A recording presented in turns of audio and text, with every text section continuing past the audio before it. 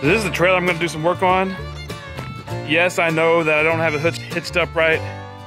You can see I need to flip that ball around to raise the raise the tongue a little bit, so don't judge me on that. This trailer's had a pretty decent life. My dad bought it like 25 years ago. And about 20 years ago, he put a Ford 5000 on this trailer and uh, it bent the axles.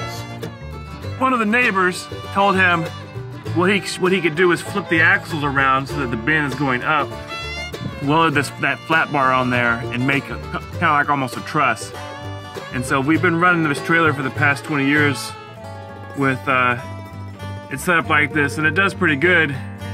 But uh, only problem is you can see that tire right there is, uh, well, let's just say the outside is a little bit more worn out than the inside. He's got the uh, springs on the top of the axle instead of the bottom axle, uh, bottom of the axle like they normally are. So that's why the trailer rides so high. There's probably three of the tires on this trailer that I've moved around, trying to get the most out of, most life out of this possible. But uh, it's about time to get four new trailer tires. And so I decided, instead of buying four new trailer tires and have them all get worn out, I'm gonna go ahead and replace the axles. I'm gonna go ahead and put two 7,000 pound axles instead of the current two 3,500 pound axles. And I got some axles from the same company. They're actually still in business 25 years later. Got one with brakes and one without brakes. Had this thing run the right height and uh, hopefully doesn't need tires like it does right now. Should be a good project. Hopefully you enjoy the video. Thanks. These nuts haven't been loosened in like 25 years, so hopefully they have a chance. A little penetrating oil here. I mean, luckily we don't live in the we don't live in the Rust Belt. So if, if this thing was in Ohio, probably might as well just get the cutting torch out. I've never lived in Ohio, but that's what people say at least. But in Texas, once every two years that it does actually get snow on it, we just like go into hibernation for those couple days, so we don't really have too much salt.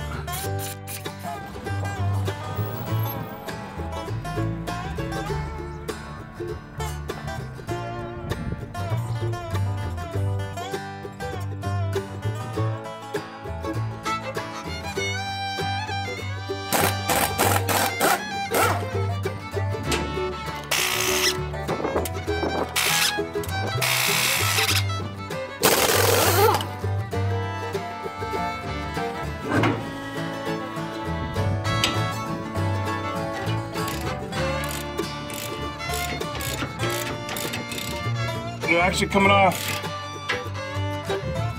one of the many great reasons to live in Texas.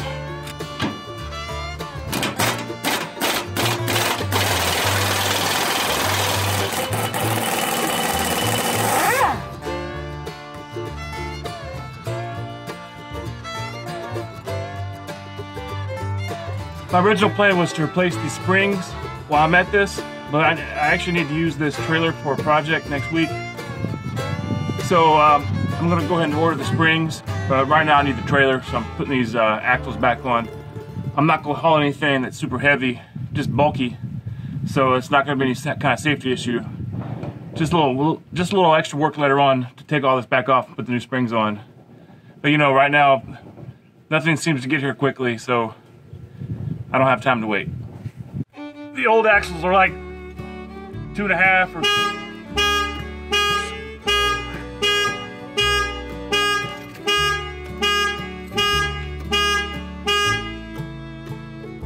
what a, what a stupid function.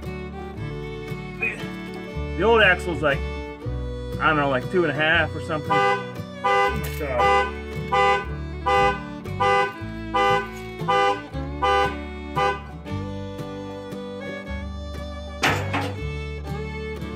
Alright, so the old axle's like, the old axle's like two and a half or something in diameter. New one's three inches. So I had to go and buy new U-bolts and new brackets. But the springs are the same, one and three quarter width.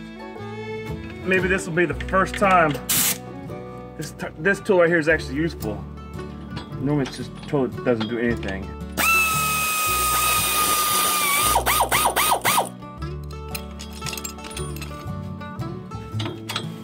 I'll tighten these up for real once I get the axle fully mounted.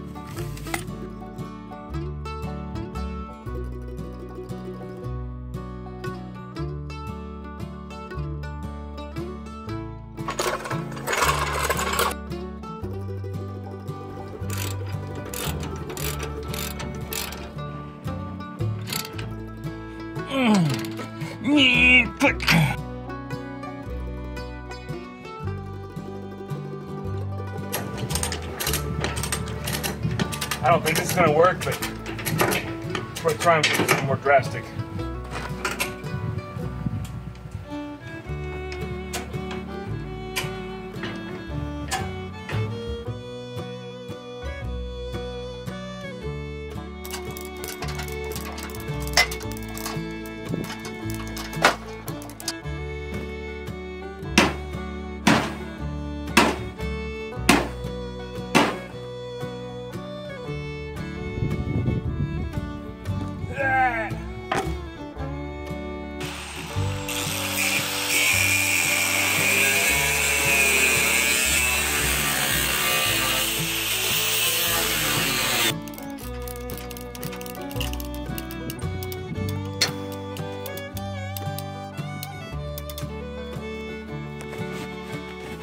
The second axle is actually going a lot faster than the first. I figured out that if you uh, loosen up one of the bolts holding on the leaf spring, you can drop the axle down and then you can actually get an impact wrench under here instead of having to do it all by hand with a hand wrench. So this is a lot faster. And, and uh, anytime you do something more than once, the second time is always faster.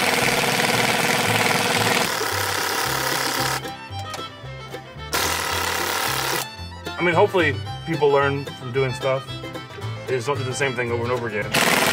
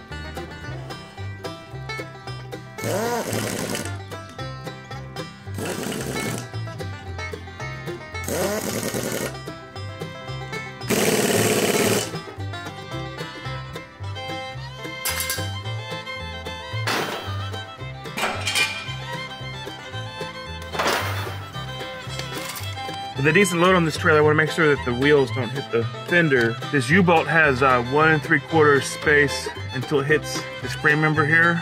I'm gonna check to see how much the tire can go up before it hits this fender well and see if this is an issue or not an issue. It's kind of close, but uh, you can see there's only there's only three quarter space here between the tire and the fender, but the tire would actually have to go up almost two inches. And one and three quarters. So tire would go up and the tower would go up and hit this piece right here, but it's limited by that uh, U-bolt. So it looks like we're good. It looks like hit the trailer frame before it would hit this right here. But I'm gonna take this load to the scrapyard, see how the trailer runs, and uh, hopefully this project is done, at least for now.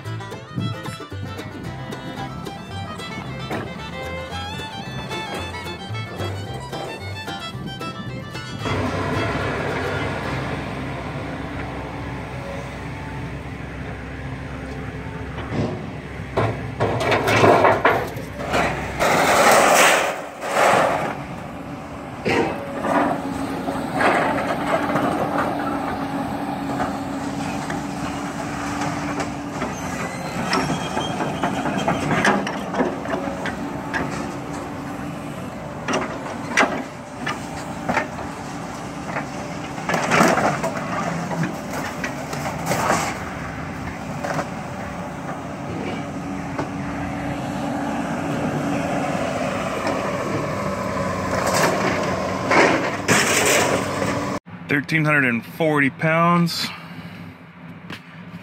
$33. I'm a rich man. I can buy half a tank of diesel.